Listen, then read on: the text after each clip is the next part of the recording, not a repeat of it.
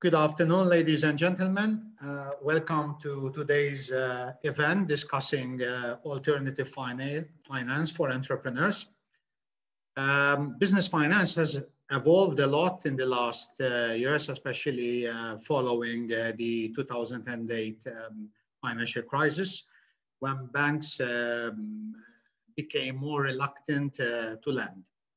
What has clearly changed in recent years is the emergence uh, of alternative finance. And today's event will be the opportunity to understand further alternatives in this regard.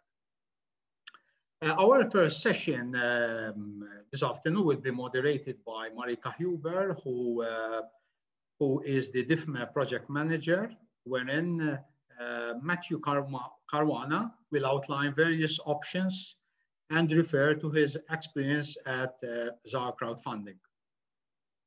Amongst other matters, uh, Dr. Ronald, uh, Dr. Ronald uh, Kleverlaan, I hope I pronounced it right there, uh, will give us a background uh, about the alternative finance ecosystem in the Netherlands. Our Daniel De Bono, uh, as EU Affairs Manager and Head of Brussels Operations at MBB, will outline the initiative taken by the European Commission to target uh, the diverging uh, licensing requirements for crowdfunding. Uh, the, the interviews will be followed by a panel discussion moderated by Dr. Leonie Baldacchino, who manages uh, the DIFME project on behalf of the Edward De Bono Institute at the University of Malta. Uh, her guest panel includes Jack Foley, uh, our Irish DIFME partner, who, has a, who as an economist and trainer specializes in uh, finance and has also created financial uh, projections uh, software. Dr. Ronald uh, Kleverlaan will outline how to access, how to assess, sorry, the right source of funding.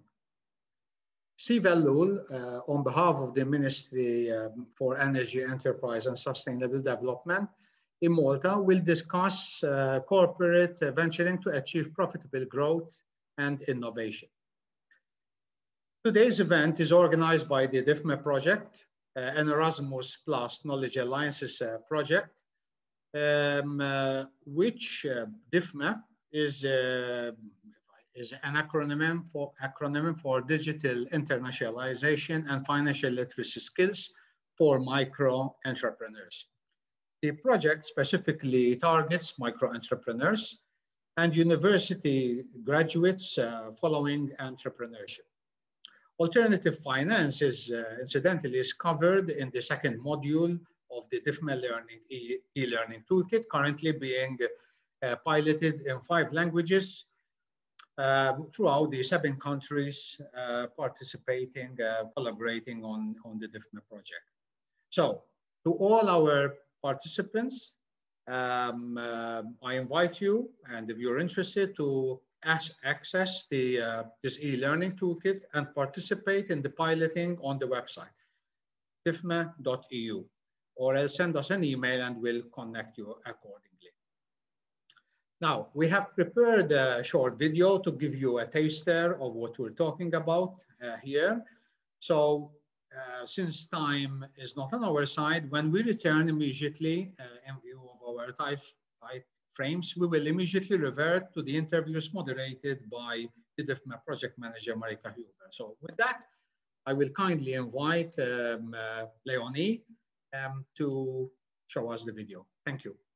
DIFME, in short, for Digital Internationalization and Financial Literacy Skills for Micro Entrepreneurs, is an EU funded project created by five EU universities and six EU business partners. DIFME is available in six languages English, Italian, Bulgarian, German, Greek, and Dutch.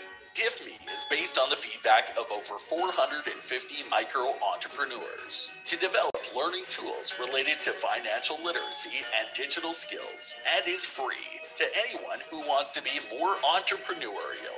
You may already be in business and interested in acquiring further knowledge.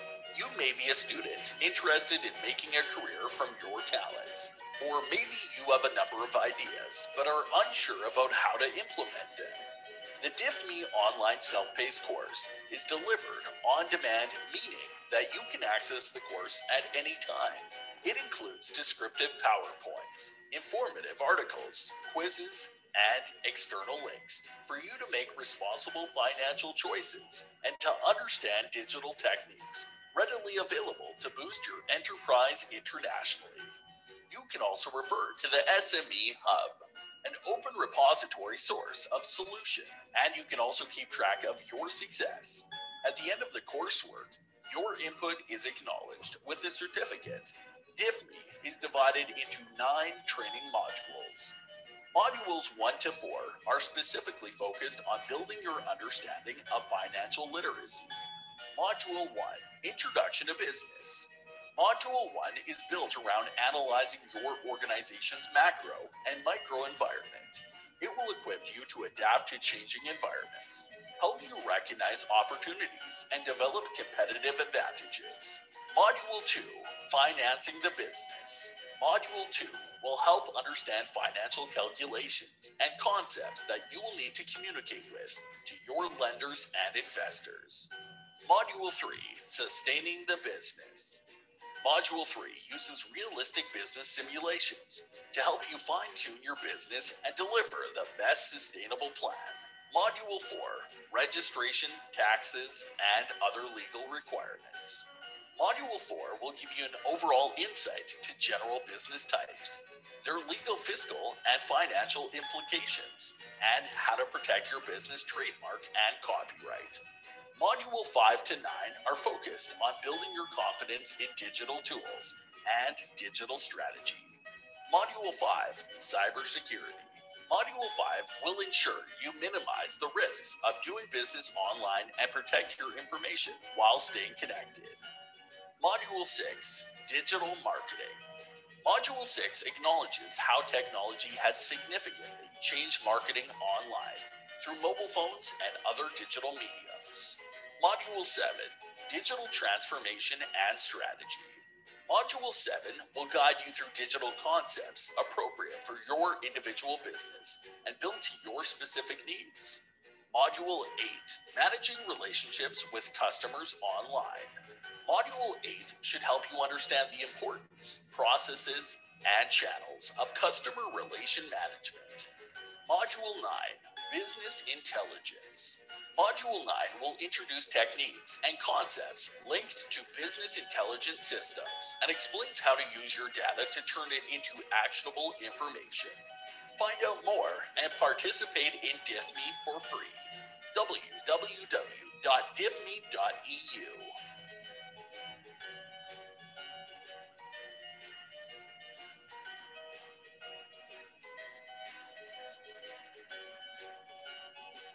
Good afternoon, everyone. Thank you for attending today's event. My name is Marika Huber and I'm the DIFME project manager. I welcome our first three guest speakers, Mr. Matthew Caruana, Dr. Ronald Kleverlaan, and Mr. Daniel De Bono. I thank you all for immediately accepting our invitation for today's event. My first guest is Mr. Matthew Caruana, who's a business innovator, a coach, a mentor, and has driven the ZAAR crowdfunding platform and grown it into a recognized brand in Malta. Matthew is also one of the Malta's brand ambassadors for the DIFME project. So Matthew, are you online? Hi, hi Marika. Hello. Hi, hi Matthew. So Matthew, let's start at the very basic. What is alternative finance and why is it important for micro entrepreneurs? So, um, hello everyone again. Thank you for this uh, opportunity and invite, uh, Marika and the team. Um, first of all, when we speak about alternative finance, it's important we clarify a bit what, what we mean. And I think this question is very important to be sort of the first question. Um, alternative finance, to, so the simple answer is financial instruments or financial uh, methods that are outside the traditional banks or the capital markets.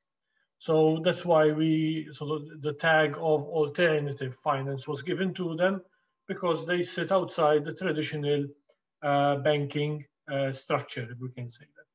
these include uh, different methods. Some of them are now, they, have been in the market or used for quite a while, uh, such as venture capitals and business angels.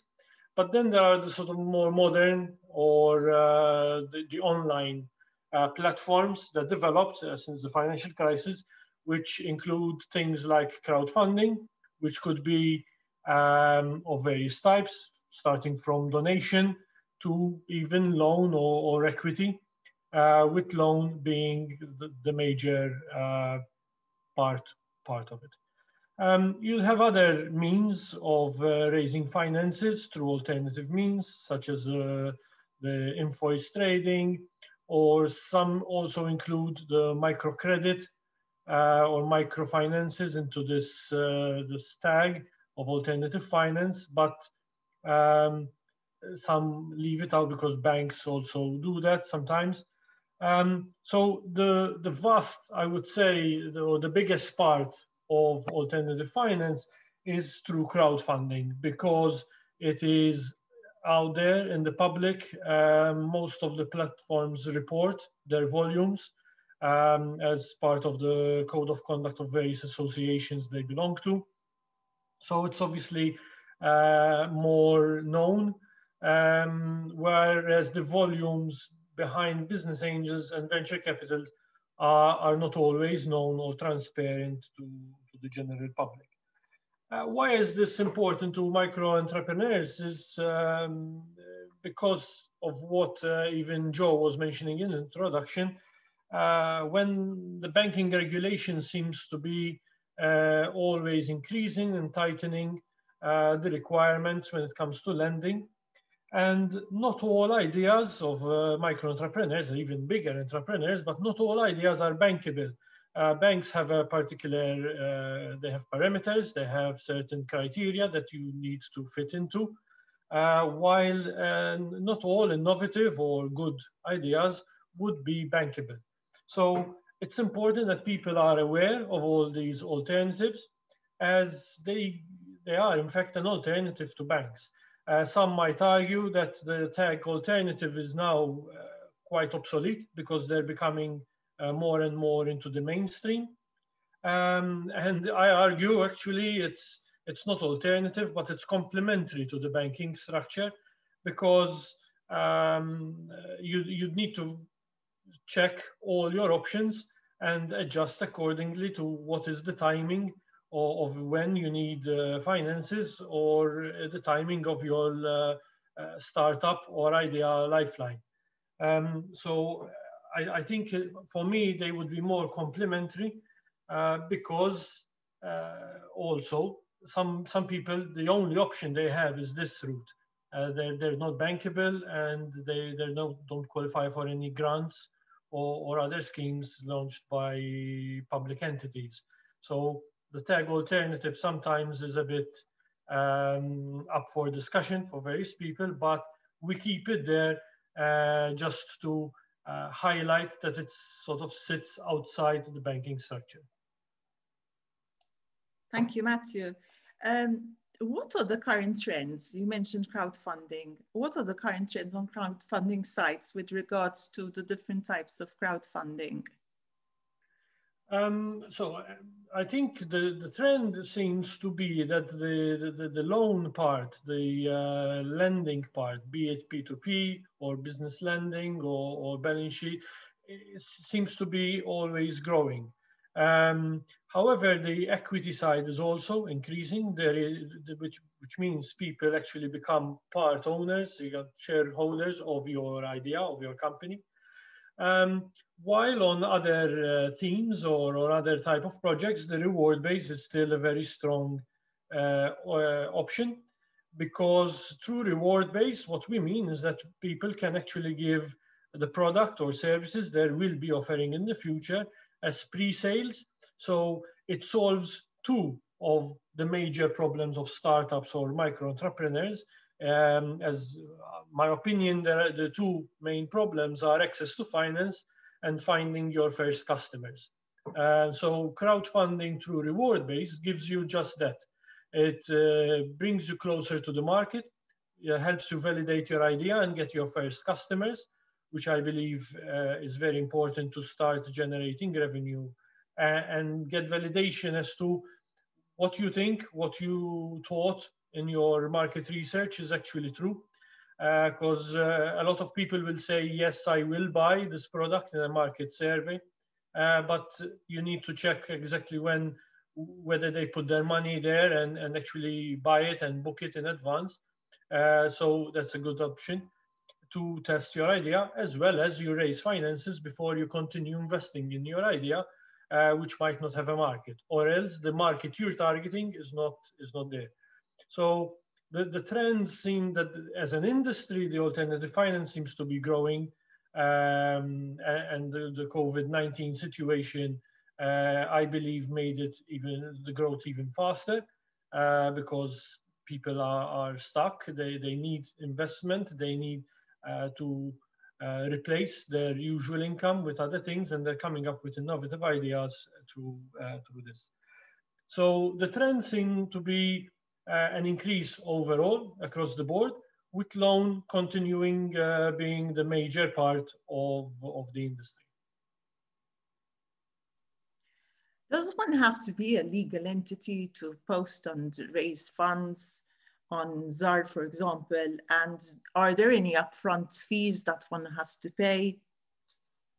Um, so each each platform uh, has different rules, has different admission guidelines, or the way they handle admissions onto their platform varies from one platform to the other.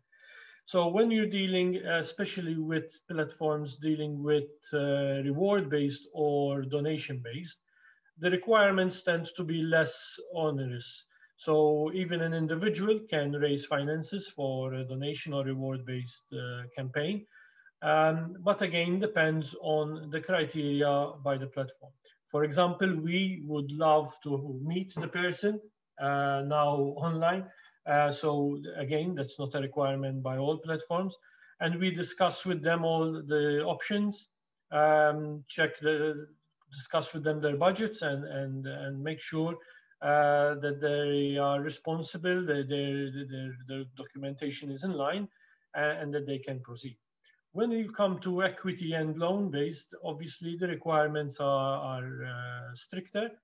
Uh, you would need to be a registered company most of the time, if not all the time. Uh, and you'd need to prepare more uh, documentation when it comes to forecasting, cash flows, uh, business plan, um, uh, ex ex um, explaining who the directors are or the owners and giving more information because obviously people are uh, coming in typically with more money, so the risk is higher, and also your uh, your demands um, or your obligations are also higher. So the platforms tend to be cautious there um, to avoid any fraudulent activities. And as I said, most platforms are quite transparent into their success rates, their uh, defaults, and, and their raises. So each platform would want to safeguard its own reputation as well as uh, the protection of each uh, backer or investor to ensure uh, that uh, the activities you're saying are, are truthful, uh, you are the rightful owner, uh, and what you're saying is factual and not invented without any backed evidence. So typically those would be the, the high level requirements for each platform. With respect to fees, again, this varies from one platform to another, but typically they depend on the success rate. So you pay a percentage at the end of the campaign uh, if you are successful and reach your target. And uh, but some platforms also have an upfront fee to uh, safeguard themselves uh, when it comes to, uh, again, fraudulent launches, or else to make sure you are committed to the campaign to deliver and to be on board till the end and not you just launch the campaign and then expect money to just flow in without any, any, any commitment or work from your end. Uh, it's a campaign, you need to work hard for it, and you need to uh, deliver on what you promise. So sometimes upfront fees serve that purpose as well. Something also to keep in mind, um, most platforms, not all of them, but most platforms also work on the all or nothing principle when it comes to reward base. That is, they add another um, safeguard to the backers that if you do not reach uh, the target you needed to move on in your project, in your idea, the money goes back to the backers. That is a way of safeguarding the interest of backers uh, and to motivate them to, to contribute even at the early stage of the campaign uh, by giving them that leeway that if you are not successful, if you did not reach enough money for you to go on, um, it's not like they end up with nothing, but they get their money back um, and they can invest it into other products or services. Thank you, Matthew. One last question. Can I crowd fund if I want to keep my product, which is not yet patented, uh, confidential? Can I still crowd fund? Um, so when, when it comes to uh, IP, it's important to identify what you're protecting so, uh, and how you want to protect it. Uh, patent is not always the best option. Um, some, some things are, are covered immediately under the trademark on the copyright uh, rules. So you, you're quite safe there if, if, uh, if, if, these are your materials uh, and, you keep them protected through those means. Um, when it comes to patent, one of the criteria uh, of patent, and I'm not a, a copyright, um, uh, an IP expert, but one of the criteria of uh, patent is that you apply before things are in the public uh, domain. So you need to be careful there and consult with your lawyers um, when it comes to something which is patent or you're, uh, you're waiting for the, the patent to get through. However, there are other things you can use to protect, which is obviously the trade secret, where uh, one way of protecting is not telling people the intricate secrets or the intricate mechanism of your, of your project, of your idea, uh, but share information which uh, would entice people to, to get on board without really uh, revealing the key uh, instrument or the key uh, ingredient, let me call it that, taking the Coca-Cola example, um, of uh, not really revealing that and keeping your, uh, your the IP protected through uh, just simply being a secret.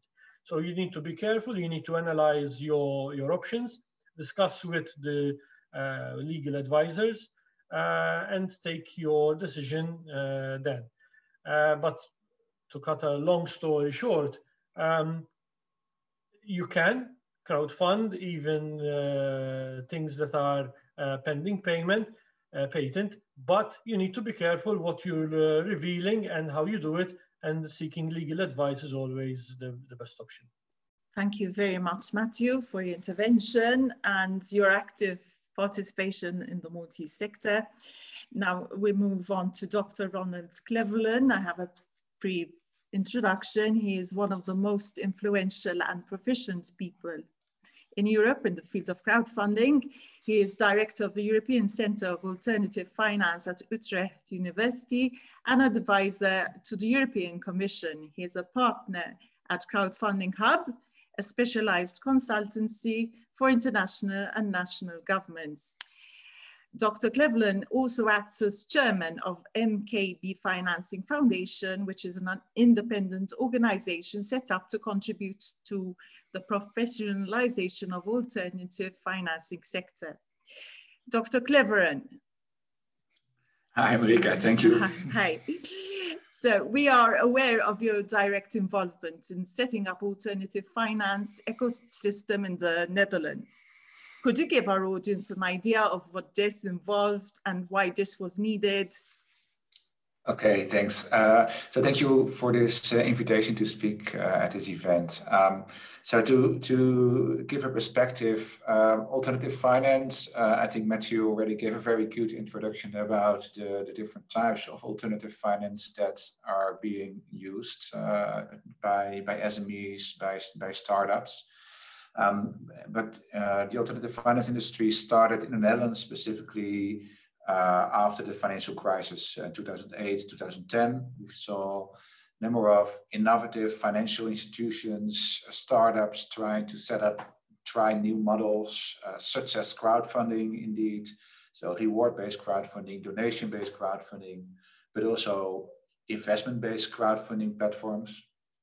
But next to the crowdfunding platforms, we've saw we've seen also different different types of other financial institutions like microfinance institutions, uh, direct lending, leasing companies trying to set up new innovative models uh, up to uh, more bit more innovative models like ICOs, uh, token security token offerings on the blockchain.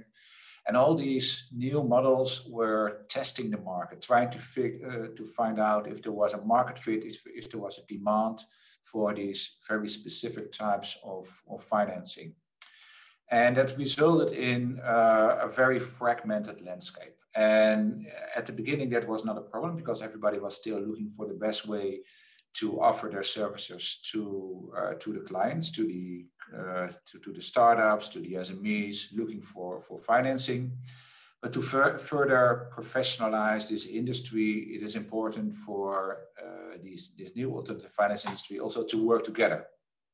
Um, so in the first phase, we saw uh, five to six years ago that several smaller associations were started. So a crowdfunding association, an association for credit unions, an association for invoice trading, factoring.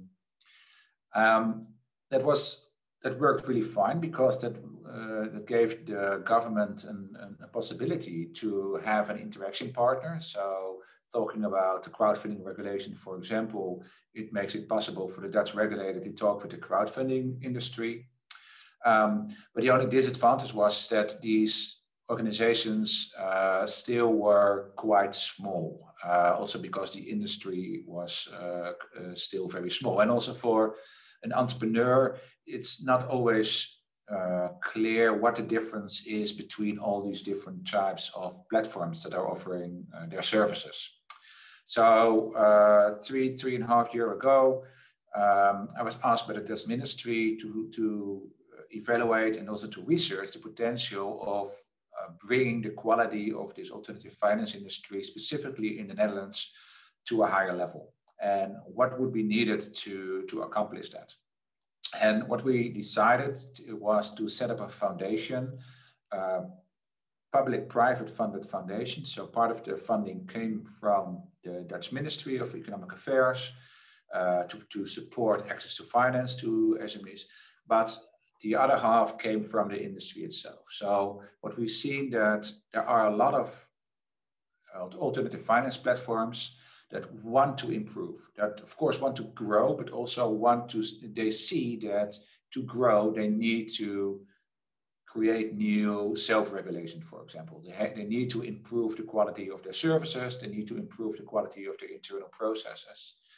And therefore, together they decided, let's join forces um, to make sure that we collaboratively come up with a higher standard of, uh, of working. And by doing that, also set ourselves apart from the rest of the industry to put in perspective, in the Netherlands, we have around 200 to 250 different alternative finance providers.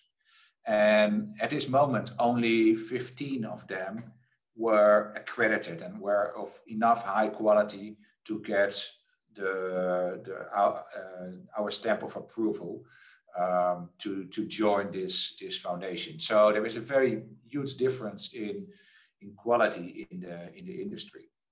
And by working together and working together also with peers that also are willing to go the extra mile and work together to, to improve the quality, um, it gives also more uh, kind of a safeguarding for uh, the government, for example, to provide state guarantees for these platforms, but also for institutional investors to, uh, to provide additional funding for these uh, for these platforms. So what we see that institutional funders, uh, managing authorities are providing financing that can be distributed through, for example, a crowdfunding platform, or can be distributed through a direct lending uh, platform. And to accomplish that, of course, there are a couple of hurdles that we have to take. Um, so one of them, of course, is that they all have a different business model. An, an, an, invoice trading company is totally different from a crowdfunding platform. It's totally different from a fund who is providing direct loans on real estate, for example. So what we were focusing on was not on the legal structure of these organizations because that legal these legal structures they are all different and honestly the the regulator either it's the, the, the national or the european regulator will come up with specific regulation for that. We see that in in the crowdfunding industry. Um, there is now a new european crowdfunding regulation. We'll speak about that also later in this uh, in this session.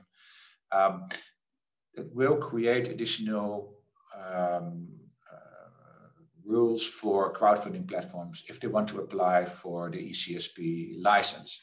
But what we did was focusing on what they all have in common. And what they all have in common, they work together with entrepreneurs looking for, for funding. So we were focusing on that part of the process, that part of how to work, how to provide funding that is best suited for the entrepreneurs they are they are offering they are serving and that means that sometimes you have to say no. You have to say we cannot provide you funding but my uh, colleague or competitor uh, who's providing a different financial product is, is much better suited to support you. Because crowdfunding is not always the solution. Perhaps sometimes uh, a leasing product will uh, work much better for you. So that, that's one part. Another part was that all these young, innovative financial institutions, because they are quite young, uh, all of them, um, it's really difficult for an entrepreneur to know uh, where to complain if anything goes wrong. So what we've done was set up um, a kind of complaint register, but also an organization who provided the possibility also to get into a dispute with each other and to try to find out a solution together. And it need to be independent. It cannot be just be done by crowdfunding platform or the other alternative finance provider. It needs to be an independent uh, body and preferably something that is um, easier to access than go to a court uh, because then the cost for both the uh, entrepreneur and, and the uh, alternative finance provider will be much too high. So what we've done in, in, in the last three years was bring this industry together, build, bundle them and see that they speak with one voice to the entrepreneurs, to the government, and to the regulators. And this gives them a much stronger voice uh, in this financial market because there is there are of course very strong banking associations and there is there are strong banks also uh, in this in this field. And if you want to accomplish anything on a governmental level, for example, you need to work together and try to bring together your your points uh, to on the table and to to define what kind of regulation needs to be changed, um, how you can enable European funds, for example, to be structured in such a way that they can also be distributed through alternative finance uh, platforms. And that all takes quite a long time. That's not something that you can just arrange in a couple of months. That's something that takes years. So therefore, uh, it's very important to set up an independent body, an independent organization who has the capabilities, but also um, the resources to, to do that. So we've done this now in the Netherlands for the last three years. We've seen quite a strong uh, positive effect for the, the, overall alternative finance ecosystem and the industry. Um, and currently, we are now discussing with the government for an extension to, to do this for the next three to four years again, because this is also, although the alternative finance market in the Netherlands is quite big already, um, it's still rather small if we compare it to the, to the overall SME finance market. So we still need a couple of years to make also this industry uh, much more professional. reading through your research, I understand that alternative finance lending industry in the Netherlands was over 1 billion in 2018. What are the main reasons making alternative finance more popular? Um, so, as I mentioned already, is that the alternative finance industry is indeed quite big. Um, in fact, last year we had updated numbers and we found out there's even much more than we expected. Uh, so it was 2.7 billion euro already. Uh, that's currently being raised by alternative finance.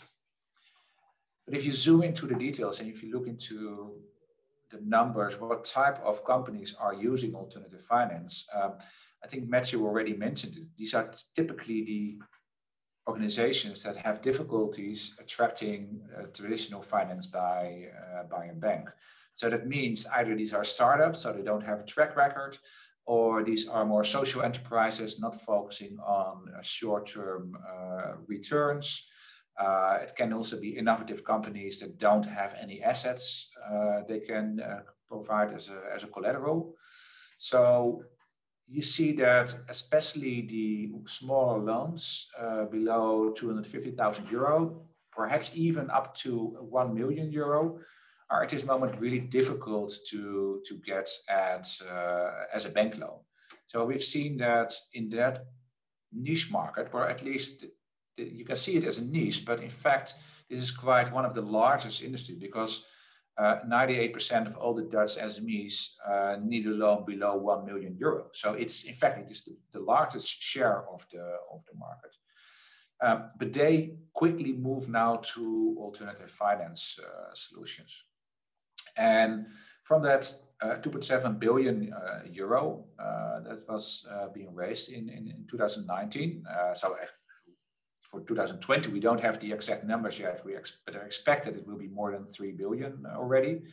Um, we see different types of financial instruments that are being used the most. Um, so for most people, crowdfunding is the most visible one, um, but that's just one third, uh, so there's, there's 10, 15% of, of this industry.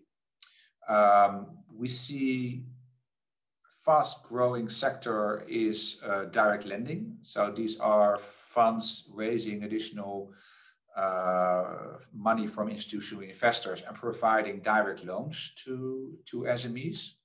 So for, for a company that doesn't see, they, they don't see any difference of reaching out to such a direct lending funds or to a bank because you just approach approach uh, an account manager and they will get the loan. But the source of funding is completely different, and because uh, these are not regulated as a bank, they have much more flexibility in their risk modeling. So it's much easier to uh, to get a loan um, at, at these institutions. So that's the, that's the second uh, type, so crowdfunding and direct lending. Uh, we see also um, uh, invoice trading, factoring uh, is, is growing really fast. We see a lot of innovation happening in that industry. So instead of having to um, uh, uh, set off all your, your invoices, um, you can also sell individual invoices, for example, uh, and to get direct, directly your money on your, your bank account. That's an industry is also growing really fast, uh, comparable to direct lending and, and crowdfunding. Um, we see, especially the last two years, uh, and, and this year we see the, the it, uh, again continue rising, is the financing of real estate. So specifically buy to let housing, for example, there's a lot of funding provided in this uh, this industry. But by far at this moment, uh, what we've seen on alternative finance market uh, is the largest industry is uh, is leasing.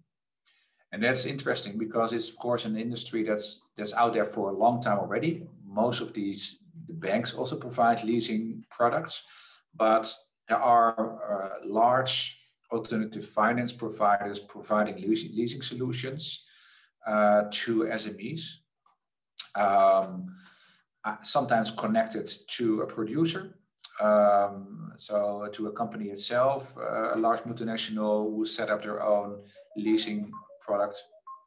Um, but most of the time they are also independent and they can just help you uh, with your uh, real estate investments uh, or other different uh, assets that you need for your company, from, from cars to uh, machinery, of course, and provide a leasing contract for that. And that's, that, that's by far at this moment in the Netherlands the, the largest part of, uh, of alternative finance.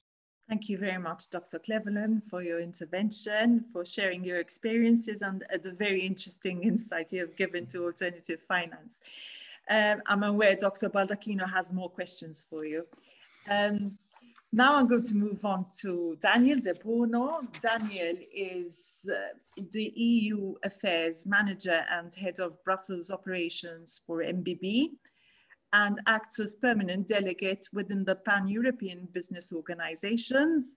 He is also in continuous contact with the Maltese Permanent Representation, European Parliament, European Commission, and the European Economic and Social Committee on Policy and Legislative Issues of Interest to the Maltese business community.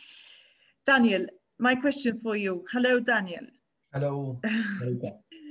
so uh, compared to other developed nations, entrepreneurs in Europe struggle to raise finance. Um, why do you believe it is the case? And what has the EU been doing in this regard?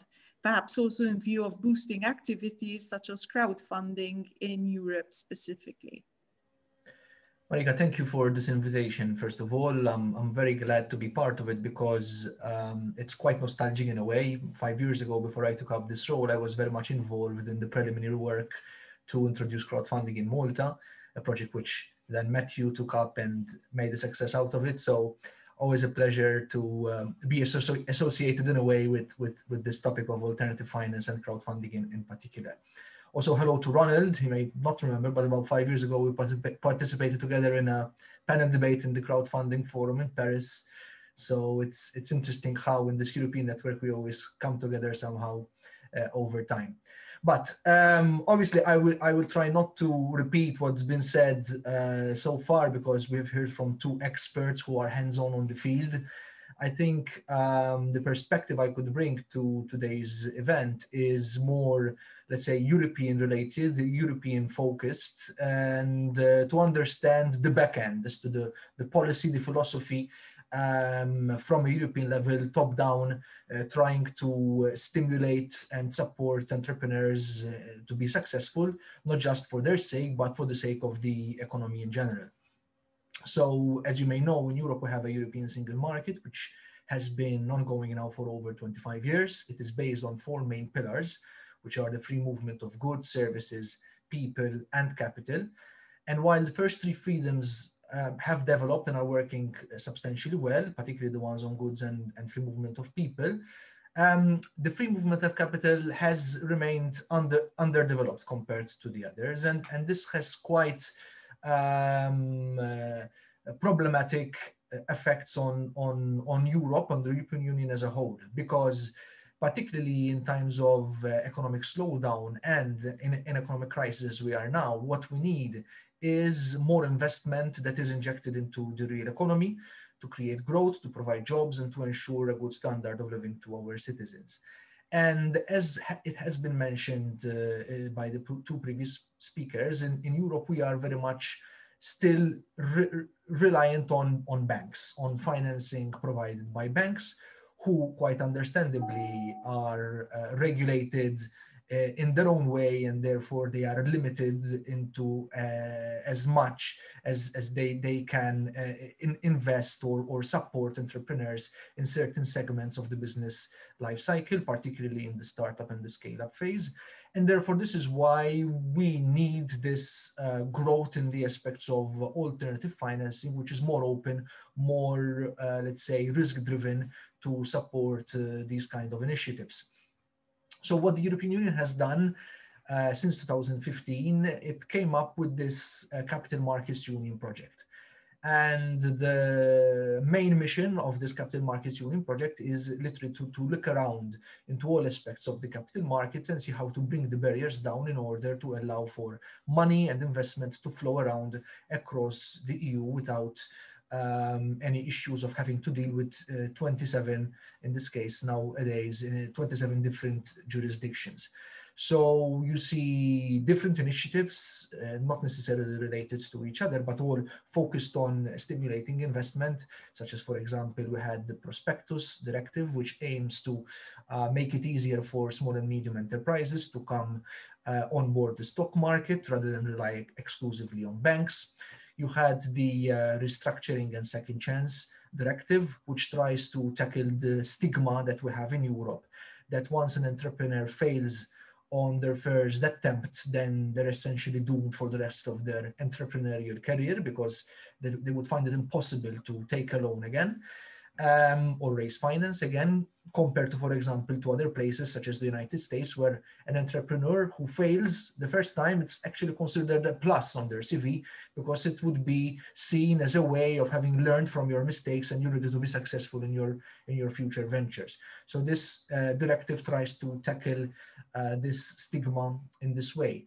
You have other other initiatives such as the uh, European Venture Capital Fund regulation the Pan-European Pensions Plan to um, provide uh, more opportunities for uh, people in general, more choices on where they can put their money for their lifetime savings. And then you have initiatives such as crowdfunding, which um, is one of the main topics of today's event, where finally, I believe, after a lot of lobbying that took place by the interested stakeholders uh, at national and European level, through the European Crowdfunding Association. We also nowadays have a crowdfunding regulation, which um, has been become effective as of last November, but will come into force and applicable as from this coming November. So um, still some transition uh, preparation for the stakeholders and the operators to prepare themselves for when the regulation comes into effect. And what this crowdfunding regulation does, if I can perhaps delve a little bit into that, it essentially, more than anything, provides a, um, a, a system whereby the, the crowdfunding platform providers can operate more freely in the European Union, whereby they will not be limited by their national jurisdiction, but they would be able to offer their services abroad without having to deal with uh, so many different types of regulation because now we would have a harmonized uh, system and the basic requirements for a crowdfunding platform to operate, to be licensed in a, in a given member state. And what this does is that, first of all, as I mentioned, it opens up the opportunity for crowdfunding platforms to grow, right? And, and, and, and find new markets where they can establish themselves and grow their business but also um, crowdfunding over the past years has developed, let's say, in a different way across the EU, where you have Western, uh, more developed nations where crowdfunding um, has uh, been growing substantially, as we've just heard in the, in the Netherlands, uh, meeting probably the 3 billion mark. But then you have other countries whereby crowdfunding is still practically inexistent. So what this does is that it will encourage, it will open fertile ground for crowdfunding platforms to move into these countries and open up their services there. Meanwhile, you have those uh, entrepreneurs and project proponents who um, would now be would have access to uh, crowdfunding services to be able to promote their projects on crowdfunding platforms. And also um, crowdfunding platforms and project proponents would have uh, accessibility to a larger pool of people or let's say in this case investors um, who would be looking at uh, putting their money into this kind of activity. At the same time uh, what the crowdfunding regulation does it obviously puts uh, obligations and responsibilities on the platform on the way they operate. It provides uh, prudential um, and management rules to ensure that things are done in a professional and ethical way, such as, for example, um, crowdfunded, crowdfunding platforms would not be able to have a stake in the same projects that they're promoting to avoid conflicts of interest that they would not uh, reroute or prefer uh, certain projects over others and to be as transparent as possible, to have within their own structures uh, customer care um, services free of charge uh, to be able to support uh, the people who are making use of their services. They would have to undertake due diligence, something which is already done obviously by by crowdfunding platforms because it, it has to do with their own reputation. But now it's even uh, regulated at European level, whereby that have to do a certain due diligence on the projects and the people behind the projects uh, before promoting them. And at the same time, also uh, doing a means test on the investors that are putting money uh, into the crowdfunding activity because crowdfunding at the end of the day is not putting your money into savings bank uh, into a savings account in a bank there is a certain element of risk involved with it and one needs to understand that and the crowdfunding platforms would need to make sure that the people out there wanting to put their money in the crowdfunding activity at least have the basic understanding uh, of the risk involved in participating in uh, this activity. Uh, the regulation also limits uh, crowdfunding platforms to only accept uh, projects which are up to 5 million euro. This also provides another safeguard because anything beyond that uh, would fall under different rules. So um, in this case, uh, financial intermediaries would require a different certification and the MIFID rules would apply. So mm, to, to bring this to, to, to a conclusion, what the European Union has done with the capital markets union in general is obviously uh, to repeat a little bit uh, stimulate a little bit more the investment that goes on uh, cross border and to have a more balanced uh, level as to where the money flows and give more opportunities for entrepreneurs and investors at the same time. Specifically on the crowdfunding regulation it uh, provides a bit more stability and the transparency for all uh, players, for all those who want to be associated with the crowdfunding activity, be it whether they are platforms, whether they are project proponents, or whether they are investors, for them to have uh, an understanding and the comfort that the rules that uh, they are dealing with apply across uh, the whole of the European Union. Thank you so much, Daniel. Uh, you have given us a very interesting background regarding EU ensuring that it's following up the growing sector of alternative finance. Before giving the floor to Dr. Leonie Baldacchino, I will uh, give a brief introduction to our moderator and two of her guests. Dr. Leonie Baldacchino is Director and Senior Lecturer at the Edward de Bono Institute for the Design and Development of Thinking at the University of Malta. She holds a PhD in entrepreneurship from Warwick Business School and MA from uh, the University of Malta. Dr. Baldacchino is one of our DIFME brand ambassadors. Jack Foley is an economist and a trainer specializing in finance, business writing and management strategy.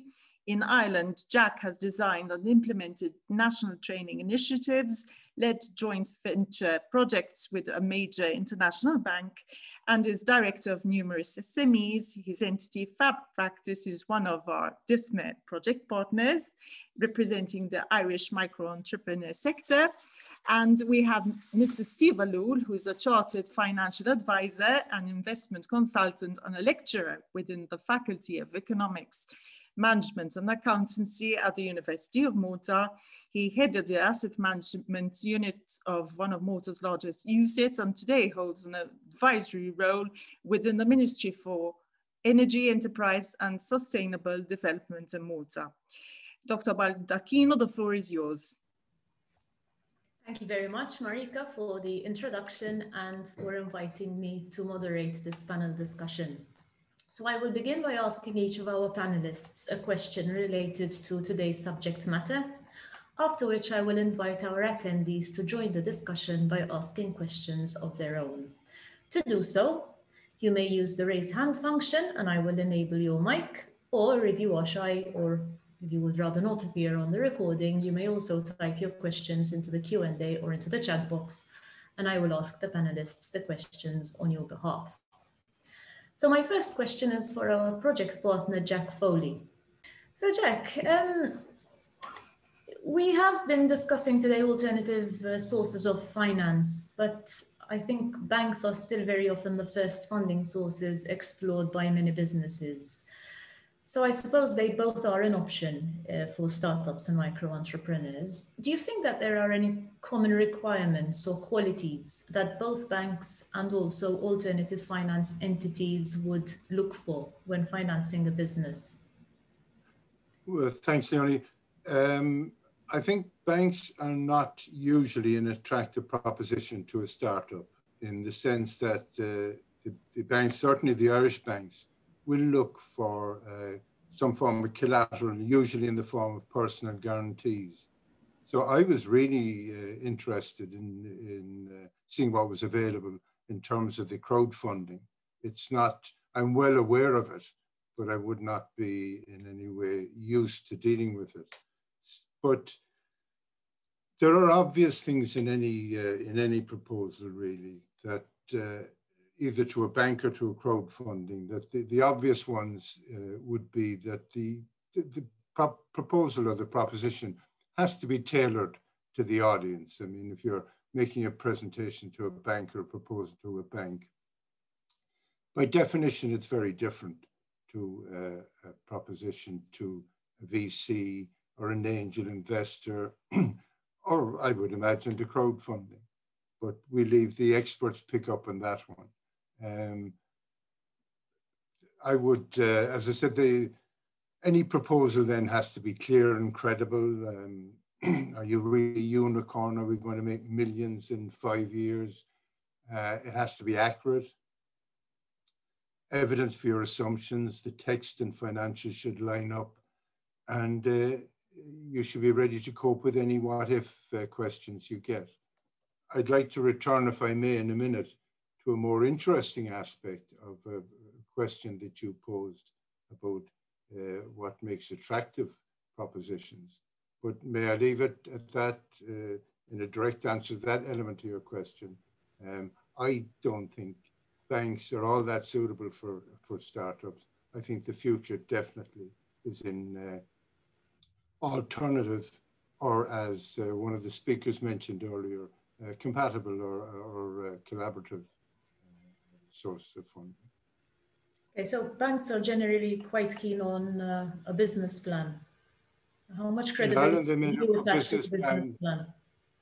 Uh, well, I, I, think every business should have a good business plan and do their financial modeling, as you well know.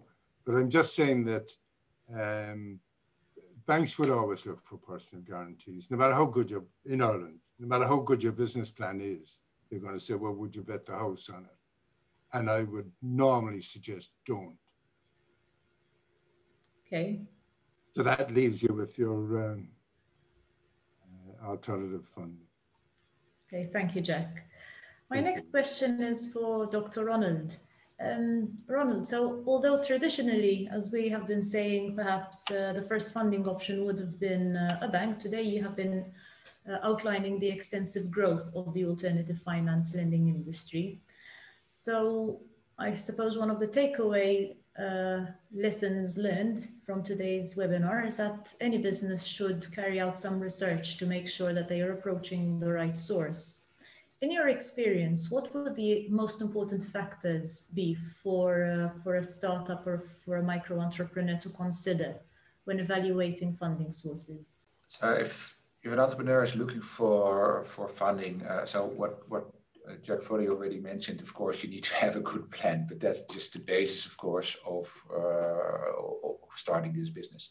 If you're looking, if you're specifically looking to funding, um, one thing that I've learned in in, uh, in the past years is that um, traditionally entrepreneurs are trained to raise funds, uh, and especially if they go to a bank, but also when they're reaching out to investors to create a business plan and a financial plan for the next three to five years and raise money to cover these next three to five years.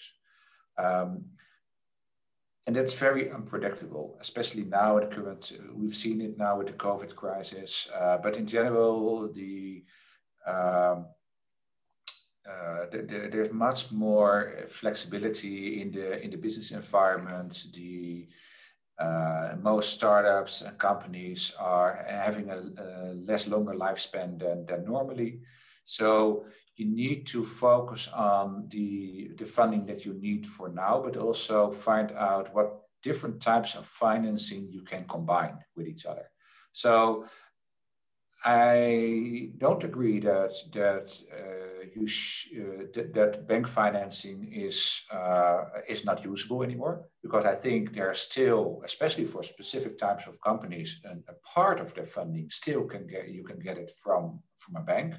Indeed, if you have a collateral for that, but you have to try to top it up with additional types of funding.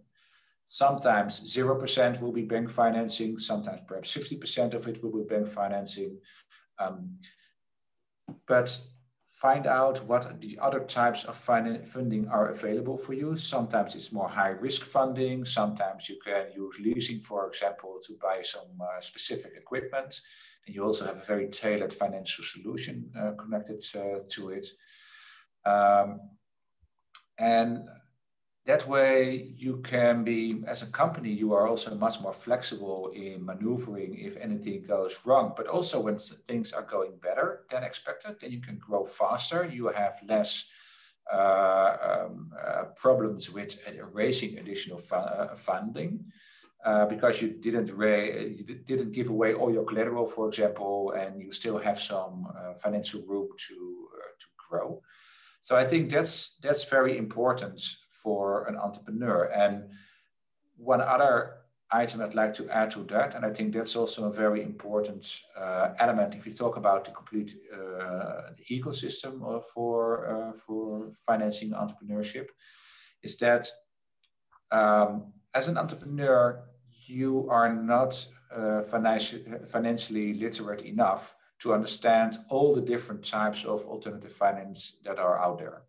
And what we've seen now that traditionally an entrepreneur was working together with, with his or her accountant uh, to find to create the financial um, uh, documentation ready for a bank. But for them, even it's also very complicated. So what we've seen now is that there is a big group of new type of financial advisors who know how to handle and how to work together with a bank, how to how to work together with crowdfunding platforms, but also how to combine these different types of, uh, of funding sources. So when to approach one of the financial providers and when to approach the other ones. And my prediction is that we, in the next five to 10 years, we will see a huge growth uh, in these types of financial advisors who normally would have been working at a bank as an account manager, but you see that these account managers are also are uh, less less worked or less employed as a bank employee, but starting as an independent financial consultant themselves. So that's something that I think if you to, to get back to your question about what can you do as an entrepreneur, so find the right advisor to support you uh, to reach out to the to the best financial provider for you. Thank you. Some uh, very useful tips there. And uh, we agree that micro entrepreneurs uh, very often lack the financial literacy skills that are required, which is, I suppose, at the very heart of the rationale uh, behind the DIFME project. Um, as you know, it's all yes. about them developing financial literacy skills for micro entrepreneurs, in addition to the digital internationalization part. Thank you. Um, I'd like to move on to uh, Mr. Steve Ellul. Hi, Steve. Hi, Leonie. Thank you for having me. Thank you for joining. So, Steve, my question is about uh, corporate venturing. This may be another source of alternative finance for startups and micro entrepreneurs. Could you please explain what this refers to? If and how this concept has been uh, implemented in Malta so far, and if there are any guiding principles which could support successful investment in this area.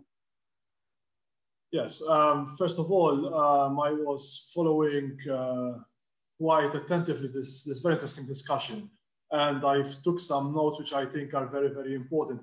Um, before I, I, I, venture into corporate venturism, um, uh, I'd like to, I, I tend to share my, share Jack's view in terms of banks' ability to actually finance um, startups, particularly in the early stage of their, of their financing requirements.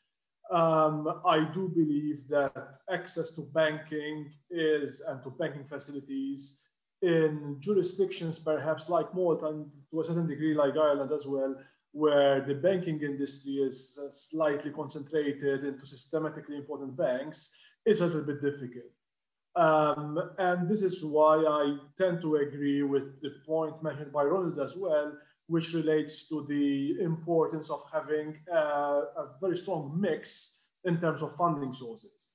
Um, one of this um, potential, one of this funding potential, in my opinion, particularly in a jurisdiction like ours and a, in a smaller economy like ours, is um, de facto um, corporate venturing. Um, basically, what we're speaking about here is the possibility of companies, of well-established companies, to actually finance, but I wouldn't just uh, speak about financing, mentoring, literally hand-holding to a certain degree, um, smaller companies and startups, and ensuring that their ideas or supporting them in their in nurturing their ideas and uh, developing their, their products. And usually a joint venture mechanism is used. It's not always the case, but usually a joint venture mechanism is used whereby um, established corporate entities support financially, but also via logistics, for example, via mentoring, via holding, um, via the possibility and the provision um, uh, of these companies to actually provide uh, the smaller companies with ideas on how to um, uh, develop um, a product into, into something which is more um, attuned with the market dynamics.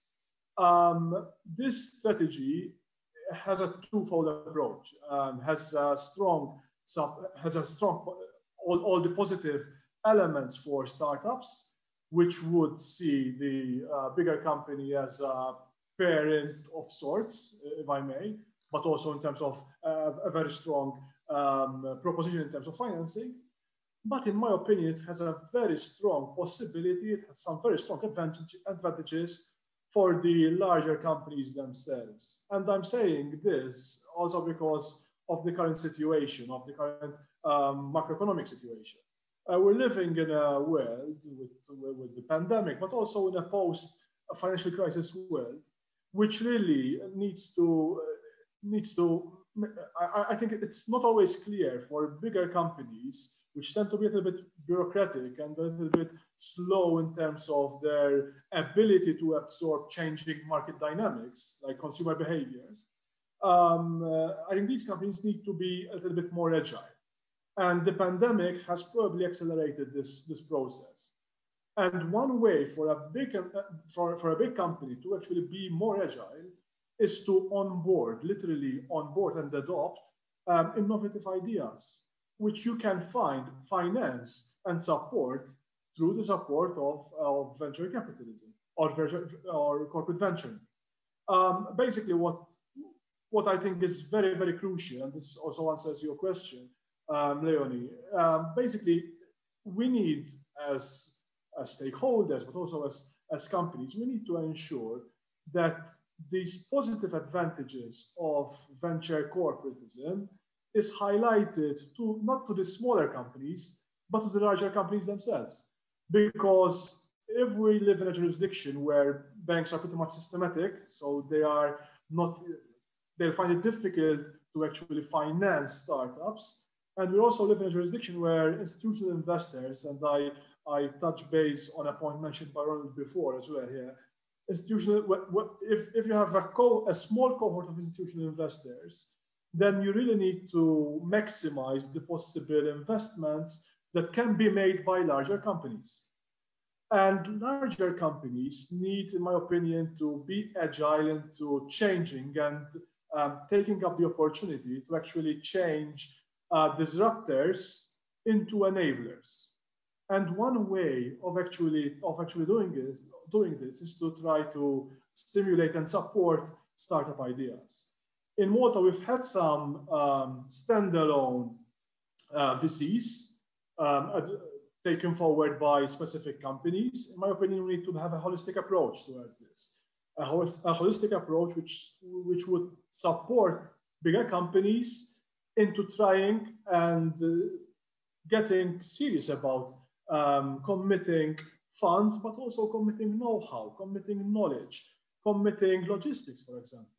towards um, towards startup startup venturing. And I think this is crucial for a smaller economy like ours, which really needs to ensure that the post-COVID environment um, is adequately supported. I mean, our companies need to ensure that their uh, ability to compete in the new world, the new post-COVID world, is there and is also agile enough. And one way to ensure this nimbleness, this agility, is to ensure that you onboard startups with their ideas, supporting them, taking the risk into supporting these, these ideas in order to develop a better holistic product. Thank you, Steve. I mean, this is uh, very much a win-win situation, isn't it? It's uh, making the best of both worlds, literally getting the, the best out of the, the, the startup's potential and also the best out of the, the corporate's potential. Um, so it, it really is, I think, a, a great opportunity for uh, businesses of all sizes to, to explore together. So thank you for the insights. I'd now like to open uh, the floor uh, to the audience. We already have uh, some questions in the Q&A, so perhaps until the rest of the attendees uh, pluck up the courage to ask any questions that may be brewing, and I will start by, well, okay, so we have two questions by anonymous attendees. The first one is possibly in a way related to what you were discussing, Steve. It's about uh, mentorship types of investment platforms, because essentially corporate venturing does entail uh, an element of mentorship as well. Uh, perhaps uh, either you or one of the other speakers would like to elaborate. Do we know of any mentorship types of investment platforms that are available for smaller enterprises? This is a very, very important area. Um, at this moment in time, at least to my knowledge, um, financing platforms really and truly focus on the financing side of, of, uh, of things in my opinion, I think this point was mentioned before in this discussion as well. I think Matthew mentioned mentioned this, and I know that is a subject which is pretty much at heart. Um, education is very, very critical, um, not just for entrepreneurs, but also for investors. Because my impression is that uh, we have a situation where this mismatch between, there's a mismatch, of course, between startup financing and providers of capital. And some of this mismatch can be bridged uh, via education. Um, there is a sense, in my opinion, that uh, investors, some investors, um, which might be very experienced in terms of capital marketing, uh, capital market investment, they would expect, my impression is that they expect from startups um, the same level of uh, risk appetite or the same level of returns that you would expect from a larger company. So education needs to be both ways. I think it's very crucial for entrepreneurs to ensure that they structure their demands in a way which is attractive for investors. Um, business planning is crucial. Um, risk mitigation, risk management is also very a very important aspect, which sometimes, in my opinion, is, is a little bit um, overlooked uh, from the entrepreneurial side. But also on the other side, investors need to be, need to be educated in order for their expectations to be modified in such a way that they are more attuned towards uh, early stage investing and startup investing. Thank you, Steve. Leonie, can I answer to that? Yes, please. Okay, so because uh, I, I, totally agree that this mentoring is indeed very important. And we see that uh, in alternative finance, there are two different types of alternative finance providers. Uh, I normally call them the, the technology providers or more the social alternative finance providers, where the technology providers really focus on quick execution, uh, automatic uh, risk modeling, for example, you see that the, the social alternative, alternative finance providers are providing additional mentorship, uh, additional uh, support for, especially most of the time, micro entrepreneurs looking for, for funding. Uh, and to give you a very uh, specific example, uh, in the Netherlands, we have uh, a microcredit institution called Qredits. And they've created a pool of 600 different individual, individual mentors that they will match one to one to to uh, a micro entrepreneur looking for, for financing. Um, and they see that the, the, the, quality of the entrepreneur uh, will increase, but that's also important for them because the, the number of, of uh, defaults is also reduced really fast. So to uh, this uh, social type of, of mentoring, supporting entrepreneurs with preparing either the business plan, but also sometimes just coaching them after they have uh, received the funding uh, already. That's uh, that's very important, and uh, I think that's also something that you either as a government or as a um, as an investment platform, you need to think well if you want to offer that as an added added value also, because it will increase the level of su success for the for the companies. Thank you, Ronald. Um, we have another question from another anonymous attendee. It's about um, starting a business plan with a partner, from what I can understand, but then one of the the intended co-founders uh, drops out. How would the remaining, the surviving partner navigate something like that? And correct me if I misinterpreted the question, please, whoever typed that. So if you start, if you're planning to start up a company and you've prepared a business plan with a with a co-founder, with a partner, but um, something something goes wrong and um, they withdraw, how would one go go about uh, navigating that? I think you just have to rewrite the business plan. That's uh, that's one of those things that happens in business. People fall out. Uh, just rewrite it and get on. Resilience, I think. I'd like to give a kinder answer, but maybe some of the other panelists could, but. Yes, well, I, I, I agree. Things uh, in business often don't work out. Sometimes it's still at proposal stage, sometimes it's later on, and there are various ways in which one can navigate something like that. Sometimes legal issues have to also be ironed out. If there are already, it depends on whether an, a financial investment has already been made. You know, there, there are a lot of different factors to, to consider. Steve, I can see you nodding. I'm not sure if you'd like to add anything to that. Well, no, I totally agree with Jack. I think he gave a very, very straightforward answer. I think, however, if I may elaborate a little bit, I think this, this is one factor why banks usually shy away from um, this kind of startup financing.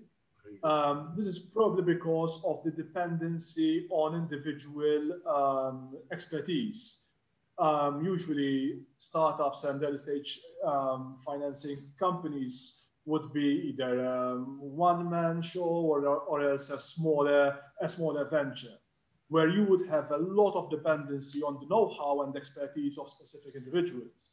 This is, by the way, it's a risk which is evident even in large organizations, to be honest. However, it's more pronounced in smaller ventures. And uh, this is one particular risk, which is real it's inherent, uh, embedded in, in, in, startups. And this is where, where education comes into play as well. Um, I, would, I would suspect that some investors might be overlooking this, this risk, which is there, which is embedded, and you'll have to live with. Um, so the returns would need to be compensated for these kind of risks. Um, I think it's something which is also critical for SMEs and for small and micro enterprises to consider, um, because the strength of some very valid business plans usually depend on the expertise and know-how of some very few individuals. Um, so it's something which we need to ponder on. Yes, I, I, suppose it has to be on a case-by-case basis. Um, this attendee elaborated a bit on the question by asking if the business should be renamed and also redesigned. You know, again, it all depends on how uh, on the contribution that uh, the partner would have been uh, required to give you know can the can the business proceed as originally designed without the, the, the partner who has withdrawn? It's really there is no blanket answer to this question. It's it, it has to be treated on a case by case basis. So i do suggest that you consider exactly what the specific uh, details of the situations are and also how the how the other partner feels you know it, it, is is it an, a friendly um, is, it a friendly breakup, so to speak? Are you still friends after that? And would they be okay with you going ahead with the business as originally named, as originally planned, uh, without them, or is there any bad blood that needs to be uh, needs to be considered? Um, we have another question from, it's in the chat this time, it's from a colleague of mine. Hello, Pierre. So Pierre, um, this is quite a lengthy question. Um, is there a guiding authority or other introductory facility to bring entrepreneurs with ideas to larger companies? My experience is that when I try to approach a larger company, which might have benefited strongly and still may from an idea I have had for a long time in uh, advertising and sales, the company one of the bigger ones in Malta, did not even allow me to set up a meeting with the manager or CEO. This is despite the fact that I had already talked to potential customers and got positive feedback. Steve, perhaps this is one for you as well, because it's about corporate venturing in a way. Absolutely. This is um, where I believe that we really need to work on a holistic approach into trying to um, bring to, to the table companies which can um, uh, support smaller companies. But I think what really needs to be, to, what, what we really need to drive home is the idea that this is a really, I think you mentioned this, Leonie, in a much better way than I did, the win-win approach for these companies. Because sometimes the mentality is such that um, larger companies look at startups usually as a, as a CSR program or some kind of uh, additional expense. Well, in my opinion, what we really need to, um, to the message we really need to, to send out is that startups in, today, in today's day and age, in today's competitive environment, can be a real source of a competitive edge for companies uh, who have become quite static or perhaps um, uh, have achieved some kind of stability um, up till now. And this is, this is where I think we need to, we need to push forward. Um, this matching process where a central uh, authority, authority, I would say a central agency, and I think there are some um, real opportunities here, even in Malta, because we have this um, uh, possibility and uh, knowledge base of particular entities uh, who have some very good knowledge on what is required on the ground, which can be shared with startups and vice versa.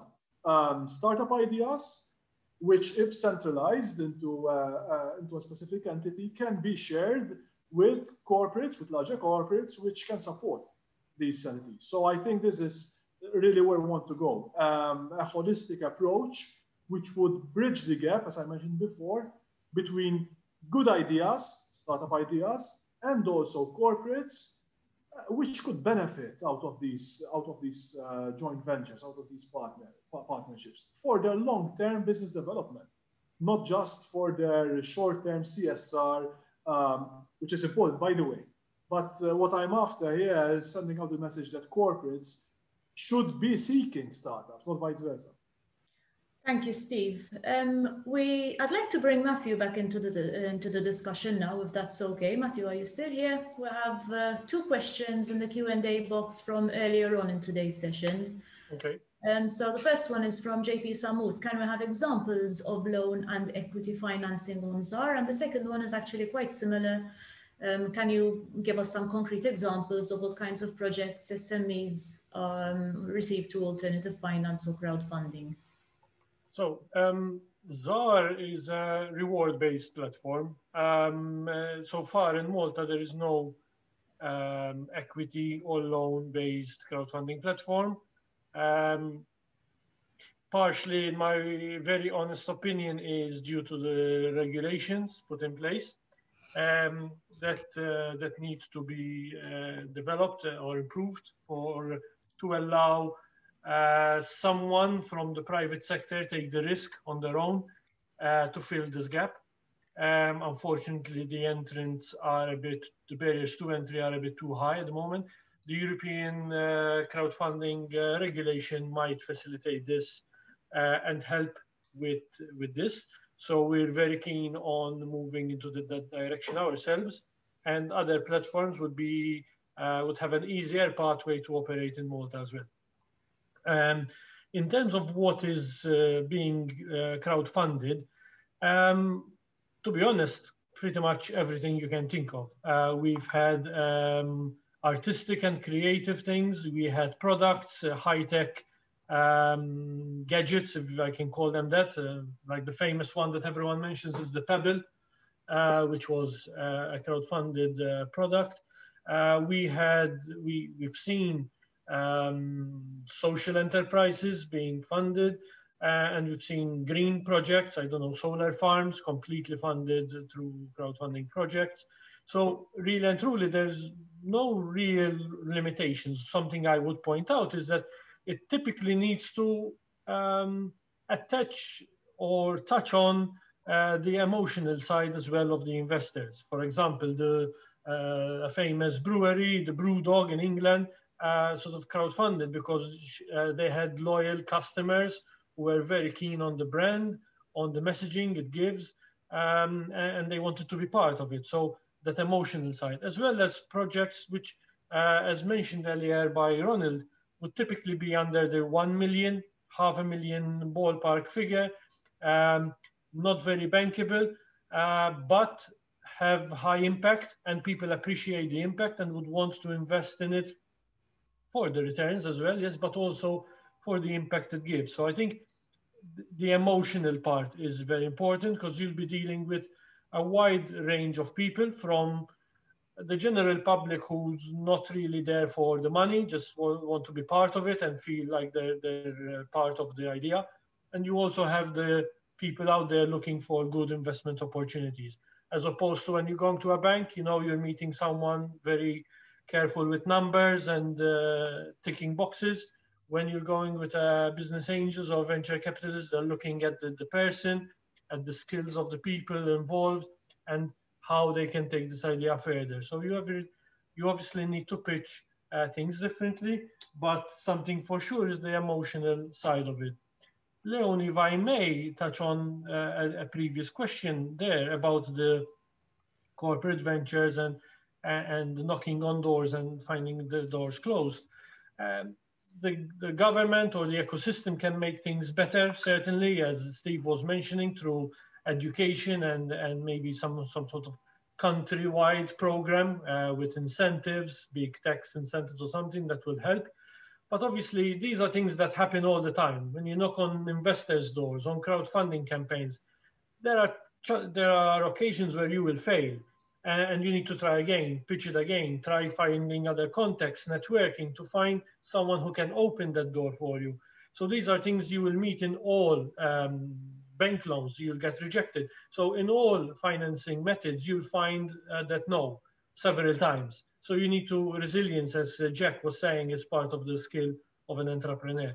And when it comes to then ideas or taking on ideas, it's finding that, that partner with you. Um, you might have the technical skill or the business skill, and you need someone to complement you. And investors, be it crowdfunding, venture capital, or whatever, they would be seeking this collective team effort uh, that you are bringing forward to the table.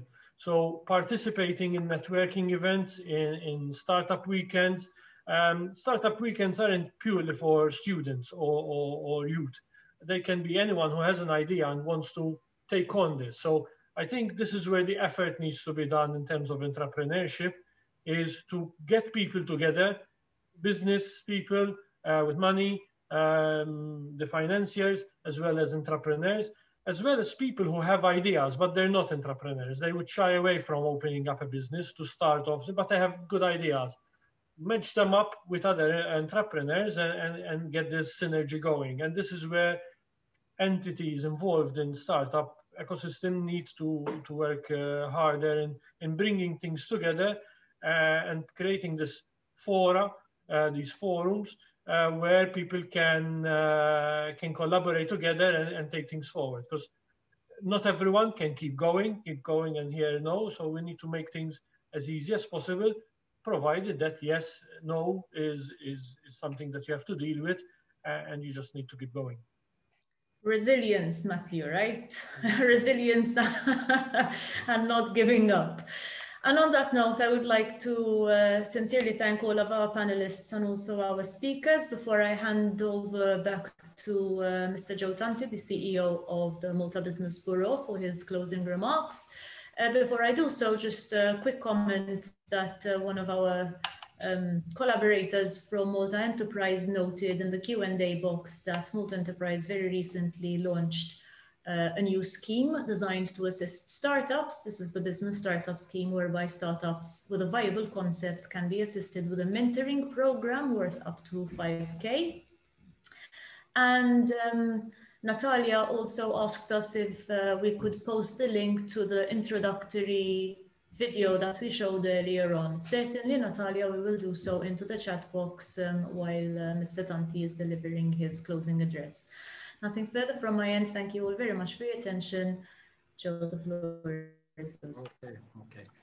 Uh, thank you, Leonie. Thank you also, Marika, for such uh, two excellent, um, uh, for your moderation. We had a great line of speakers today. I really, really enjoyed the session. I'm sure our participants um, uh, appreciate the invaluable, the valuable uh, insights into this important topic and also to the various contributions that we had.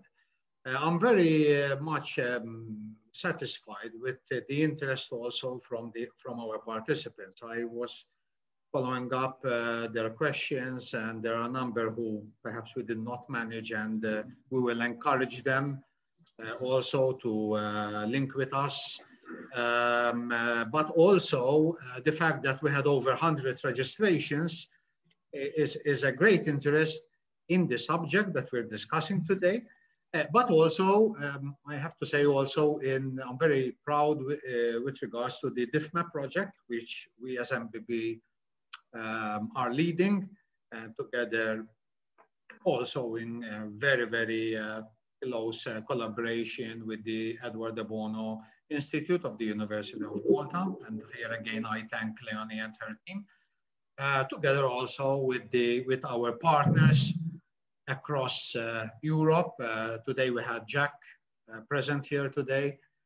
Um, uh, so my, my um, invitation here would be to the participants this time. So yes, uh, COVID is ever present at the moment, but aside from the human tragedy of this pandemic, from an entrepreneur perspective, what is important is that just this journey uh, that is the journey from here. And therefore, we look forward uh, to obviously keep in touch with us, also in relation to registering for our piloting um, of, of our uh, DIFMA initiatives. So please visit uh, www.difma.eu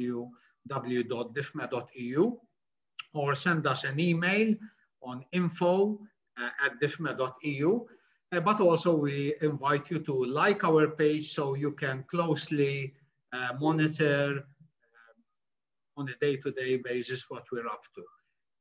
Uh, with that, I uh, conclude here. I thank all who have contributed for today's successful session, and I wish you a good afternoon.